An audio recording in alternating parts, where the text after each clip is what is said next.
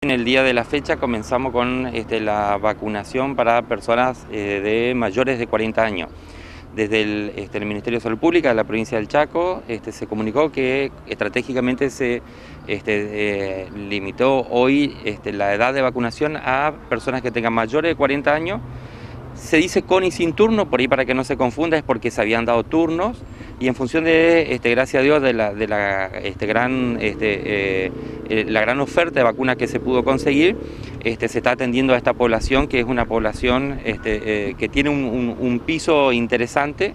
y es una población estratégica este, a cubrir. Eh, aparte de eso, ustedes pueden ver también hay mucha gente porque eh, sumado a las personas mayores de 40 años, también se están aplicando vacunación a lo que son empleados de comercio. Este, este, libre para todos aquellos empleados que pertenezcan o pertenezcan a la Cámara de Comercio de Sáenz Peña, que concurran al vacunatorio.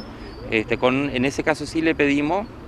si son menores de 40 años, que, tengan, que traigan o que se este, acompañen de su documento y de su recibo de sueldo del comercio donde están este, eh, trabajando. Este, se está aplicando la vacuna este, AstraZeneca, primera dosis, y aparte también estamos haciendo segunda dosis de este, eh, AstraZeneca. Déjame aclarar y dejo aclarar que es para todo el personal que es de Presidencia Roque Peña, que tenga domicilio en Presidencia Roque Peña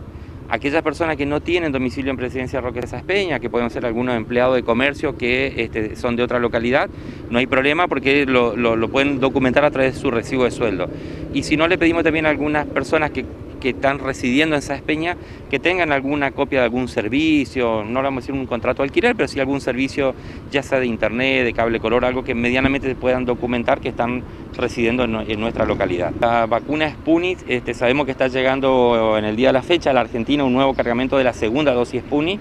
Nosotros al vacunatorio de Sáenz Peña no recibimos,